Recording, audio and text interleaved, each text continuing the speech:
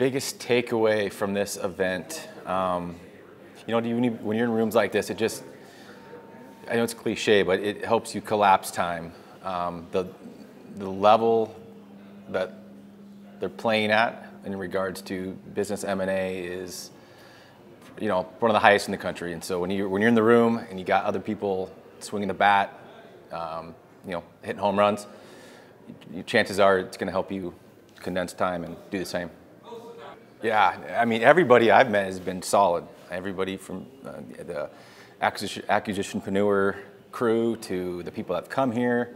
Um, everybody's just been helpful in, in, regards to telling their story, providing value, um, friendly, natured. So um, even hit the strip last night. That was fun with a couple of them. And so that's been great.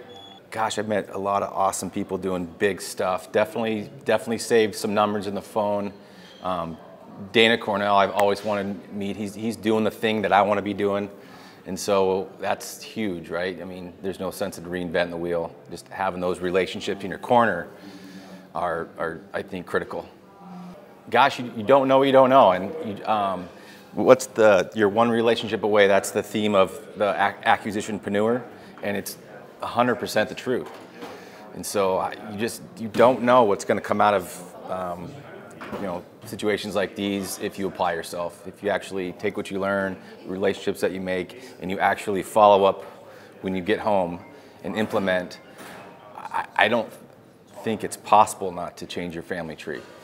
We, we were just having a discussion, me and Kyle were, were just having a pretty awesome discussion about, uh, you know, M&A on plumbing heating companies, that's where I used to and um, Bitcoin mining, buildings, and all, I mean, yeah, all kinds of stuff. So pretty, pretty accessible.